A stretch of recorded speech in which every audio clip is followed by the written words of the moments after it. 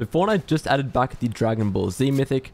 As you can see right here, this is what you need to open to get both the Mythic. So that the Kamehameha and the Nimbus Cloud, you need to look for this icon on the map, this orange capsule. You can see that when you extract it and open it up, you will get a Nimbus Cloud and the Kamehameha as well. Now, I'll see if another one plays or like appears on the map because you'll hear a loud noise and you have to look for it. I might have to kill this guy quickly. You can see that's what the Nimbus Cloud does. And this is what the Kamehameha does. Okay, that should not have missed. You all saw the video right there. That was directly on him, and then he just didn't die. So, I'm pretty sure, very clearly, the Mythic is absolutely bugged. I definitely didn't miss. It's definitely a bug with the Mythic. Let's see if I can hit him this time. No, I can't hit him this time. Similar problem with the My Hero Academia Mythic, where it's like a charge up, it's pretty easy to shoot you.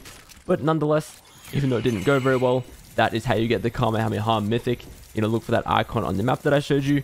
Go open the capsule, and you'll get it from that. And there could also be some vending machines that spawn randomly around the map as well. Keep an eye out for those.